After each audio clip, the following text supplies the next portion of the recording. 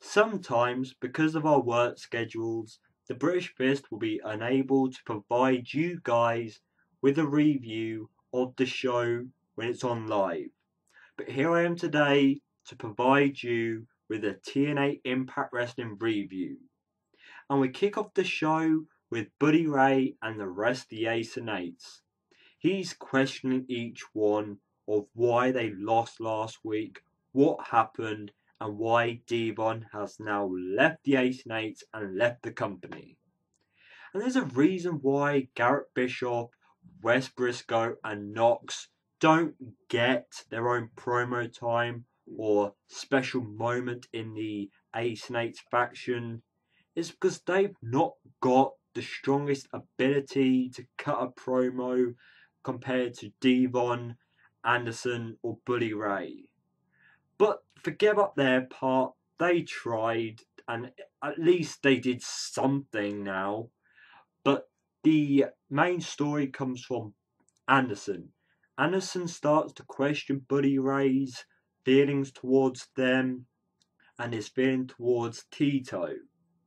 And this stretches out throughout the night where eventually the other Ace and members start to agree with Anderson and we're starting to see the cracks in the Ace and Eights, which means sometime soon, probably in two pay per views time, which is probably going to be about half a year, the Ace Eights will be disbanding, breaking up, and we're going to see Anderson hopefully stay on his own direction, Wes and Garett doing their own thing, Knox doing his own thing, unless we get more releases soon.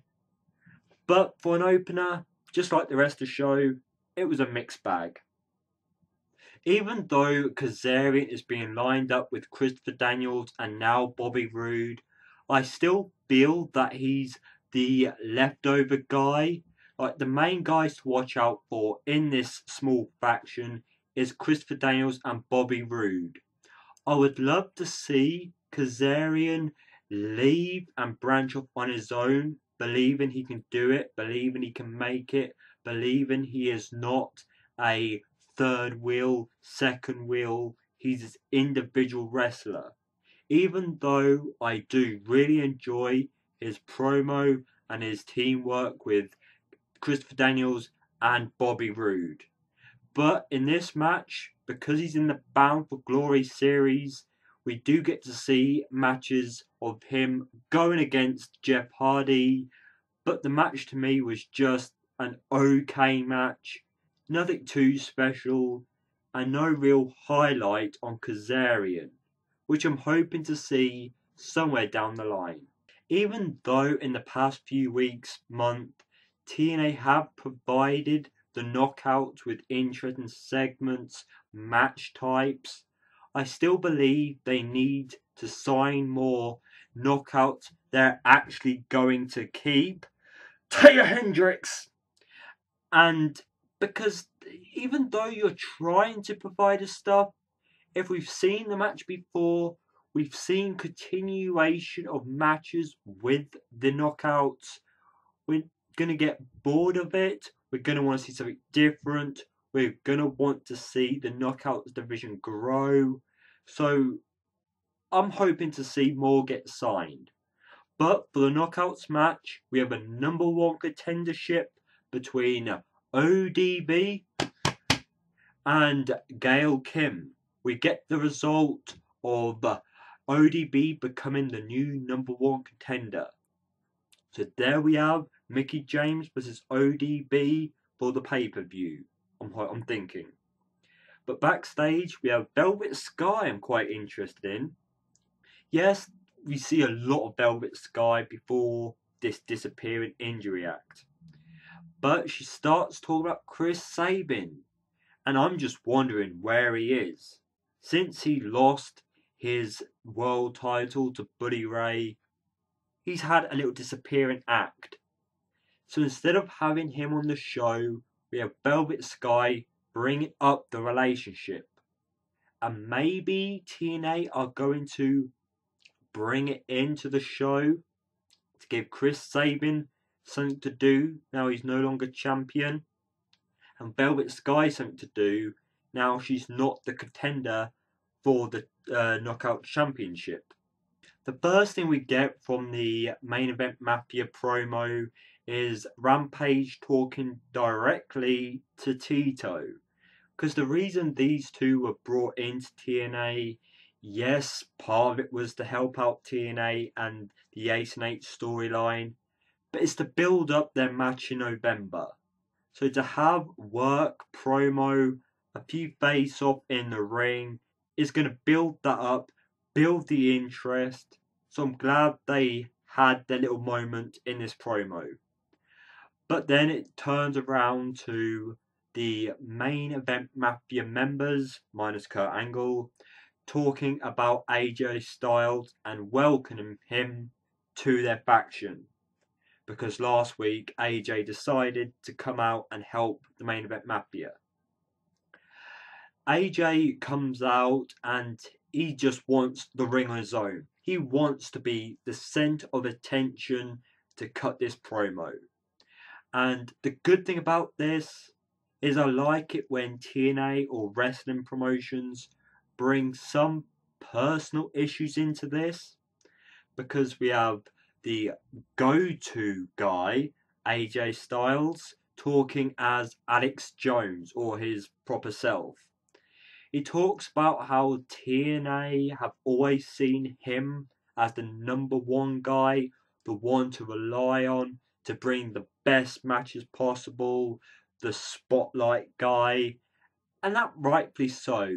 You could say that AJ Styles is Mr. TNA, the guy that represents the company. Yes, they've got all your other favourites, but AJ Styles seems to be the one to grab the attention. But his promo, he starts talking about the negativity of TNA. He starts to talk about his family and how he wants to spend more time with them. Could this be building up the departure of AJ Styles? Or, because of the personal story behind this, could this be AJ Styles wanting to get back into the Bound Glory series table and become the next possible winner? I don't know. I will admit I liked his promo, but why are they doing this? Why are they giving AJ his own time to cut this promo? But this moves swiftly on to his match against Bobby Roode. And this match I liked it. I enjoyed it. I thought this was great, enjoyable, and a match I wouldn't mind seeing continue on. But AJ Styles, after a good match, defeats Bobby Roode to get his points into the Bound for Glory series, and AJ Styles didn't quite make it. Another guy who's very serious about winning the Bound for Glory series is none other than AA Austin Aries. And he goes in to have a match against Christopher Daniels. They have a comedy segment backstage before the match. The match itself, brilliant, enjoyable, which you expect because Christopher Daniels has had a big, strong, enjoyable feud against AJ Styles. So to put Christopher Daniels up against AJ Styles means that there's something strong about Christopher Daniels. Austin Aries, fan favourite, very enjoyable in the ring. To combine these two, you expect a good match. And that's what we got. This could have gone either way. But with Austin Aries, I guess, to prove that he works on his own, he trusts himself and no one else, they were going to give him the win, and that's what they did.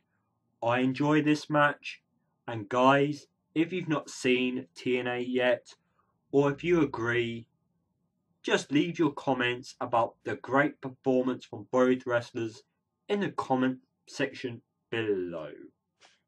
Guys, I have great news. Hulk Hogan has returned! I'm one of the fans that wasn't hyped, pumped, enjoying the fact that he was returning because without Hulk Hogan, the attention had been on the rest of the show rest of the wrestlers, giving us something different.